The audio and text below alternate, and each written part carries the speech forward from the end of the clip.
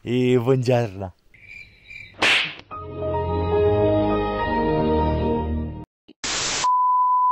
Oggi continua il nostro viaggio della miniserie dei forti austro-ungarici. Nice. Oggi siamo in uno dei forti forse un po' più particolari della, della nostro viaggio, del nostro viaggio, cioè quello che gli austro-ungarici chiamavano Werk Valmorbia, ma noi chiamiamo Forte di Pozzacchio.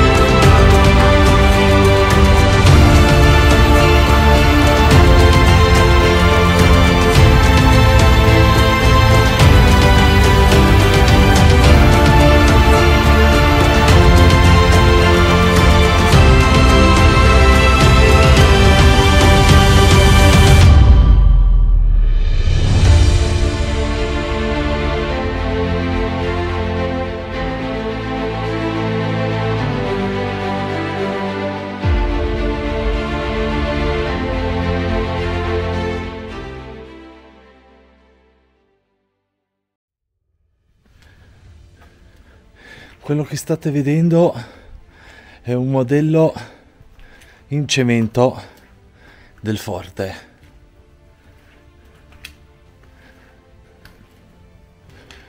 Questa è la parete rocciosa che è davanti, mentre tutto questo aperto è la fortezza all'interno della montagna.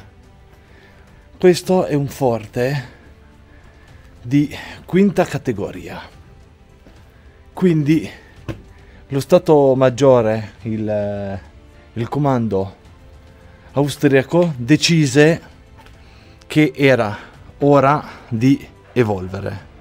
Allora, come dicevamo, il comando austro-ungarico decise che, dato che i, le fortificazioni che erano state fatte a Nago e Rovereto e sopra Rovereto erano comunque quasi completate, decise nel 1880 circa, decise che era ora di fare in modo di avere un appoggio di eventuale attacco o eventuale difesa eh, proprio qui nella Vallarsa perché questa è una valle che va dritta dritta dritta verso la pianura veneta.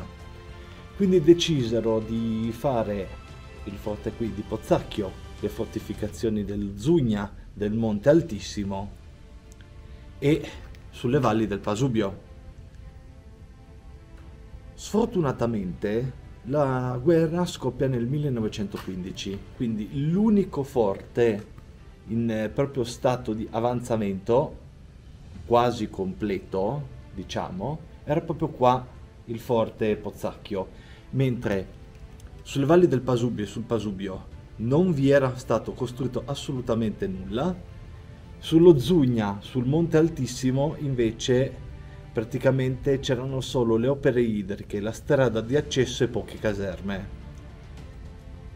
Quindi lo Stato Maggiore austriaco si trovò in difficoltà e quindi decise di arretrare in posizioni molto più difendibili e abbandonare il progetto della Vallarsa.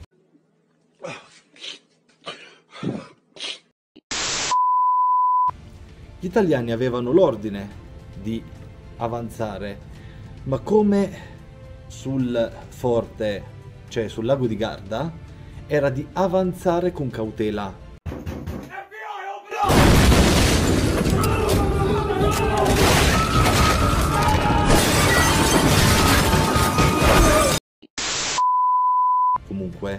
Perché eh, da quelle parti gli, gli italiani non avevano niente, quindi avanzavano di qualche metro, cioè di centinaia, anche qualche chilometro, poi si dovevano arrestare per costruire posizioni di difesa o di attacco e andare avanti così.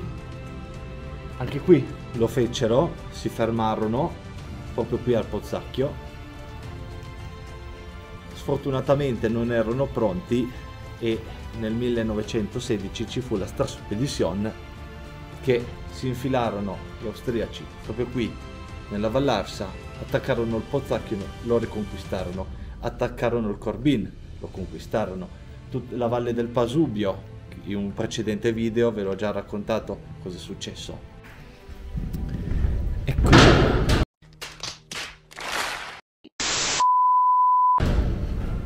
Siamo all'interno del forte Pozzacchio.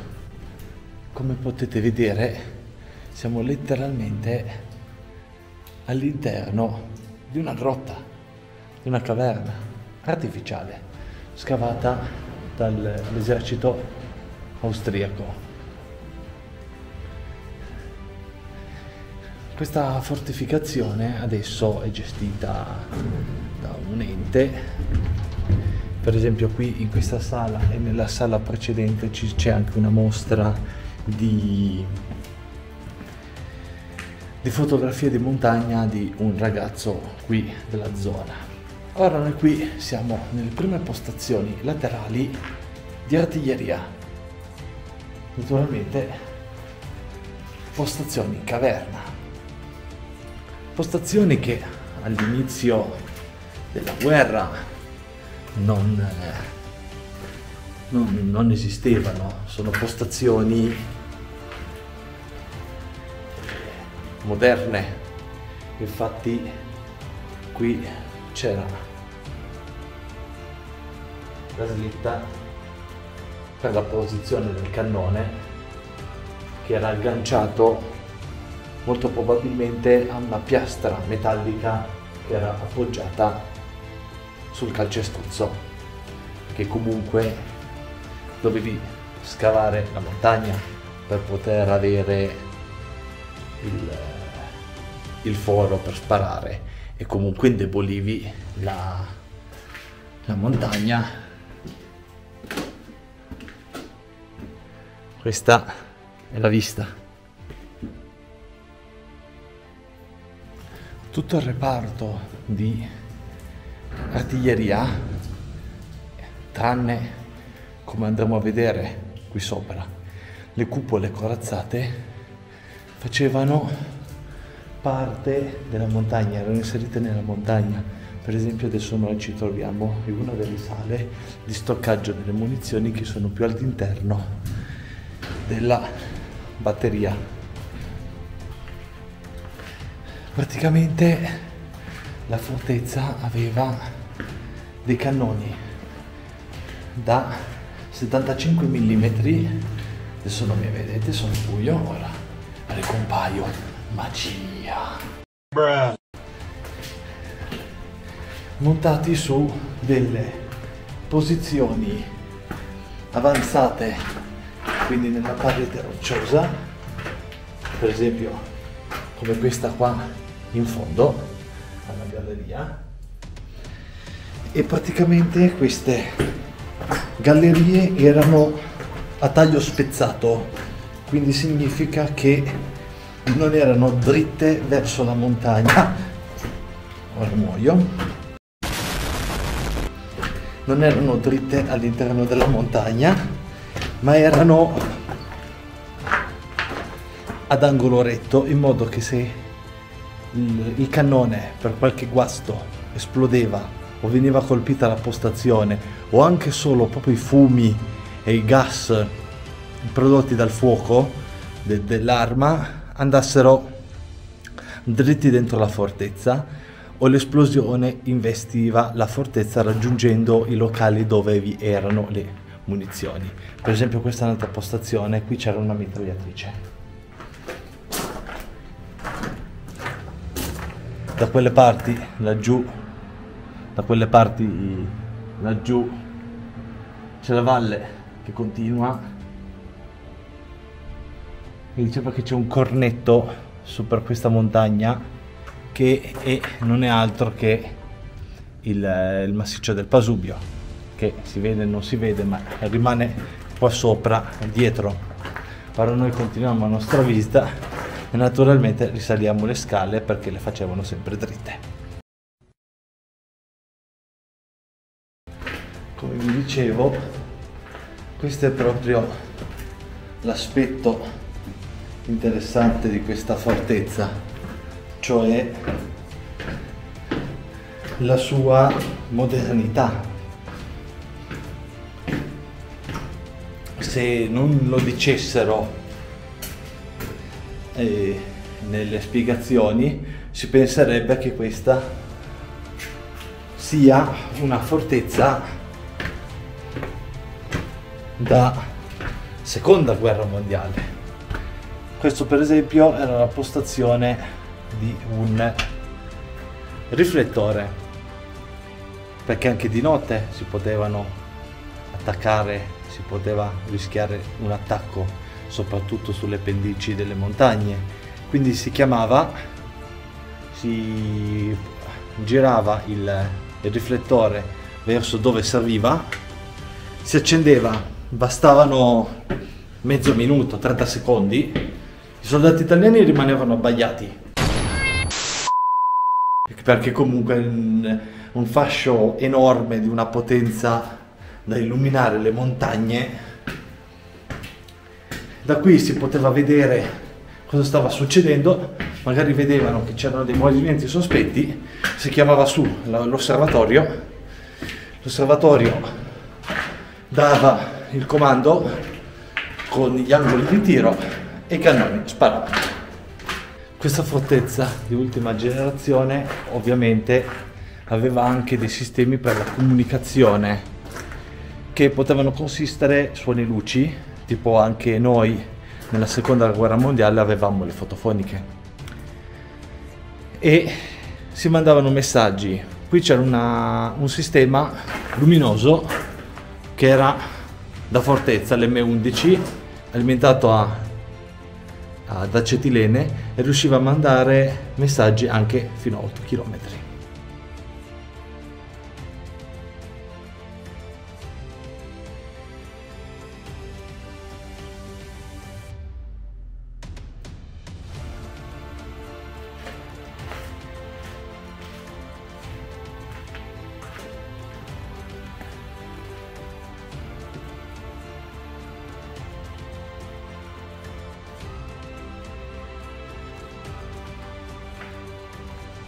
Come vi dicevo prima questa struttura comunque era, doveva essere munita con tre cupole corazzate che sono qua sopra. Ora seguiamo la scala. Sfortunatamente il forte non fu mai completato e quindi non fu mai dotato delle caratteristiche cupole corazzate delle fortificazioni da montagna.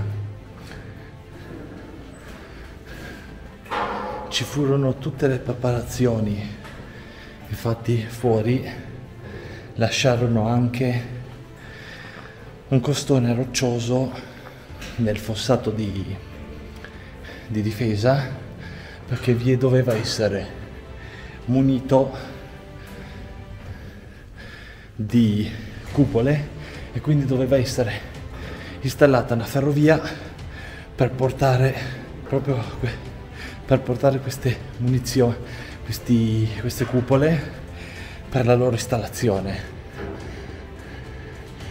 Sono già salito tantissimo, quindi capire quanto è spesso la roccia, è spessissima. Questa fortezza, se fosse stata completata, non ce n'era per nessuno. Il progetto si rivelò estremamente efficace.